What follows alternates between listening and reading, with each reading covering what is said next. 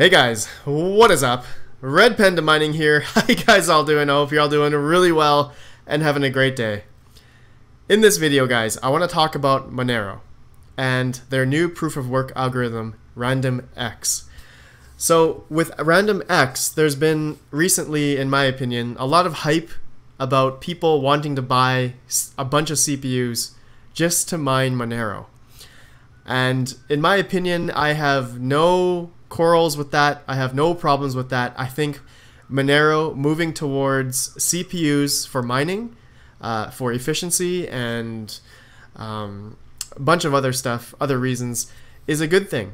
And it's it's really nice to see that Monero is always you know switching up the algorithm, and I guess in this case they're drastically switching from uh, GPU mining uh, centric to now CPU mining centric. So there's a bunch of of random X benchmarks that I want to go through, and just to give you guys perspective and just information uh, regarding the performance for you know CPUs, uh, NVIDIA cards, AMD existing AMD cards, and as well there is a random X benchmark website uh, that is made for the community that people can can um, submit their benchmarks here on the site.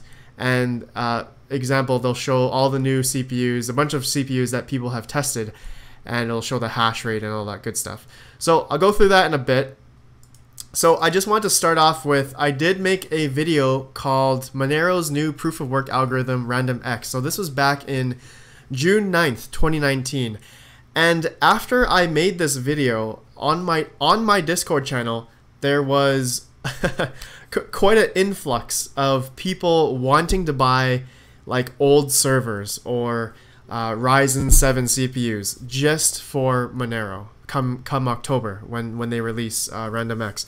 Uh, that's what they said. But um, there's a lot of hype around the new RandomX algorithm, and I'm on example the reddit.com slash r slash Monero mining subreddit, and on this subreddit, Monero Mining, there is actually a lot of different threads, a lot of different posts here regarding RandomX, and people just, you know, benchmarking their CPUs, uh, benchmarking new CPUs like the 3900X, the, the new Ryzen uh, 7 3000 series CPU, and it is a it is a boss CPU for RandomX. I'm, I'm gonna I'm gonna show you guys the numbers in a second, uh, but in in terms of just hype for this algorithm and uh, Monero itself, it's I can see it becoming quite uh, qu- quite a big thing, and people are are are are seriously looking into this and possibly I don't know making a CPU mining farm or you know that kind of stuff. So it's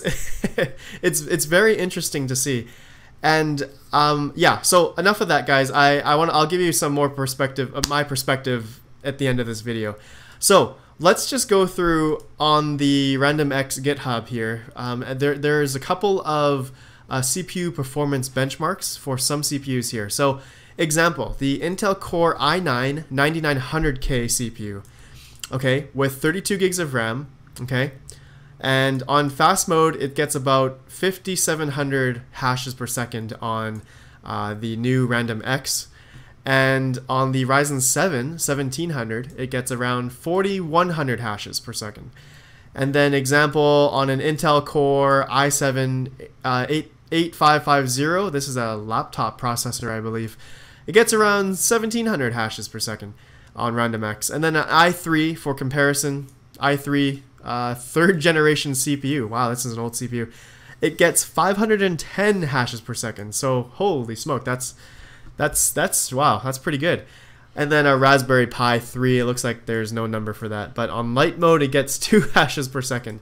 So very interesting. They have some of the benchmarks here. Okay, on their GitHub. So I now I want to show you guys the RandomX for NVIDIA cards. There is a CUDA implementation for RandomX. So this is this is for NVIDIA cards. And just to give a comparison, a 1660 Ti that they showed here uh, so existing CryptoNight R on the existing algorithm that's now on Monero, it gets around 626 hashes per second at 98 watts. And then on the new Random X gets 671 at 103 watts. So it looks like you know, not that much difference for NVIDIA cards. And you guys can see a whole bunch of other of other benchmarks here. 1080 Ti on random X is 1100-ish, 200 watts. So uh, in my opinion, these for NVIDIA mining for uh, Monero for the new RandomX or any or any CryptoNight coin, it just doesn't make sense. I would not use NVIDIA cards to mine uh, Monero. So uh, let's go to the next one. Enough enough of these benchmarks. They're, they're pretty low in my opinion. And then um, let's go to now the RandomX OpenCL implementation. This is for the AMD cards, okay? So they have just a few different um, different benchmarks here. Like mainly the staple AMD card for mining Monero right now is the Vega 56 and 64 uh, video cards, which I know a lot of you guys probably do have, and I know a lot of people do mine with the Vega cards on Monero because these these cards are boss cards on CryptoNight R. But as you can see, uh, existing right now, you can get around 22 mega 22 hashes, okay, per second on CryptoNight R. But then on their random X benchmark, it shows that they're getting around 1200 hashes per second. Okay, so it's it's cut in half, guys. This this this random X algorithm for the Vega cards pretty much just gets cut in half. Uh, it's not not like the Nvidia cards where it's it's actually gained a bit of, of hashes per second. Um, so it's interesting. It's the opposite for Nvidia cards, and then for Random X, it's the opposite. It just totally gets cut in half, and it's just not efficient anymore on uh, AMD cards. So that sucks for a lot of the AMD miners that uh, were mining Monero right now, and come October, uh, when they move to Random X, if if they do, um, then that that's gonna suck. The the the, the AMD guys will have to move to a different coin, uh, which I'm sure there will be like I don't know Ethereum. If they'll probably still stay with proof of stake, all that good stuff. But anyways, so that's the AMD card benchmarks. Okay. Now I want to talk about the CPUs. Now there's there's a bunch of different CPUs that have been benchmarked already. Uh, there's a website here, randomx.monerobenchmarks.info. I'll have this link in the description so you guys can take a look. And as you guys can see here, at the top of the chart right now, for the highest hash rate, okay, on RandomX, look at this 12,326 hashes per second on a R9 3 3900X. Okay, this is the latest Ryzen 7 or Ryzen 9 3900X CPU. Uh, I believe it's $700 USD on Amazon right now. And this this CPU, guys, is is seriously is seriously amazing. Look at this, 1200 hashes on Random X. And if we go down this list, you guys can see there's been more more testing, random uh, 3900X, uh, 11,000 hashes, and then here we have some obscure CPUs that I haven't heard for in a long time, and they this is a this this looks like a 4X AMD Opteron 6378 CPU. Okay, I, I think this is like really old, but as you guys can see, four of these AMD Opterons can get around 11,000 hashes per second at 850 watts. That is interesting. That is interesting. And um, let's let's just go through. I want to before I show you, uh, just read out some other benchmarks here. Um, it actually shows a bunch more Opteron CPUs in the in the in the benchmarks here. And uh, I, I want to show you on eBay, uh, for example, the AMD Opteron 6378.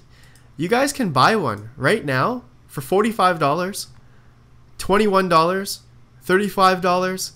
Uh, a bunch of different models here for the 6300 series Opterons. $35, $83 for a set of four 6378. So there you go. You want to you want to hash 11,000 hashes per second on random X. You buy four of these for 84 bucks, and you're you're done deal right there. Look at that. Uh, it may not be be quite efficient. I mean, 815 watts is is quite a bit, but I guess comparing it to like like 10 or 11 Vega 64 cards, uh, it's probably a, a, lot more efficient on these Opteron cards, for example. But uh, you can see the, these CPUs, these Opteron CPUs are super cheap And I guess by the time you guys see this video, I'm gonna expect uh, a whole crap load of people to buy these. Uh, ah, just kidding.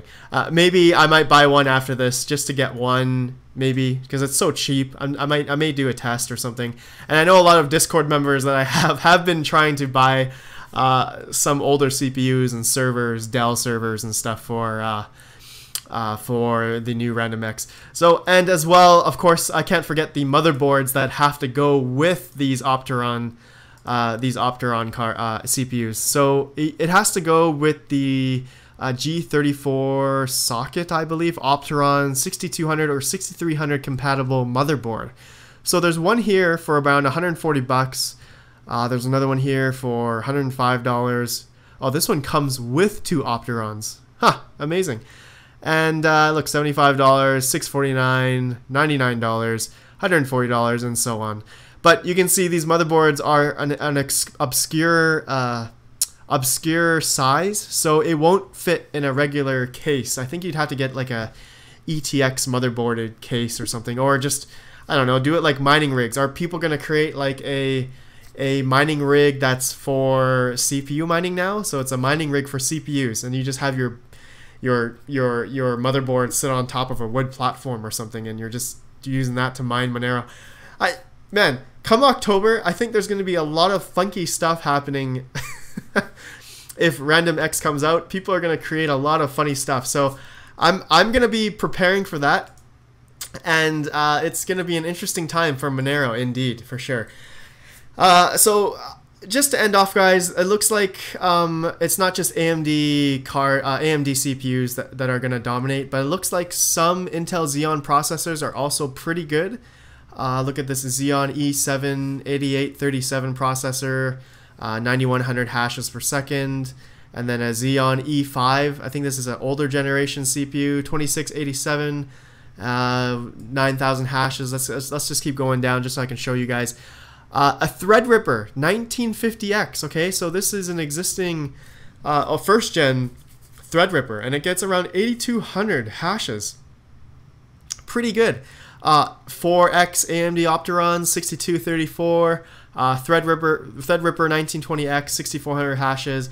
Uh, Ryzen 5 3600, so 6200 hashes, and so on, guys. So take a look at these. Take a look at these benchmarks, guys. It's it's quite interesting. Um, of course, it looks like the king right now is the Ryzen 9 30 3900X. I'm kind of curious what the TDP on that is. I think it's 250 watts, but I guess when it's mining, it could be maybe 300 or 400 watts uh, TDP. So, and anyways, guys, let me know what you think. I I, I really want to gauge the community on on some people that are are are Monero fanboys and really love Monero and the new Random X and I want to know if you are buying server hardware, old server hardware, uh, to get ready for Random X come October. So it's going to be an interesting time indeed. I, I'm very interested in what's going to happen to the hash rate, uh, how much of the community is going to get into this, and uh, it's it's definitely something new and exciting that CPU mining is back. You know, uh, like they should, they should have like a slogan for Monero, like CPU mining is back, baby, or something like something funny, but interesting to see. See, like server hardware is like dirt cheap on eBay and everywhere. Craigslist. I'm sure you guys can find really cheap hardware. But anyways, guys, let me know what you think. I appreciate all of you, and smash that like button if you guys think this is a great video. If not, hit that dislike button. But get subscribed, guys. Click the notification bell, all that good stuff, and I will see you guys in the next video. Have a good one, guys, and peace out.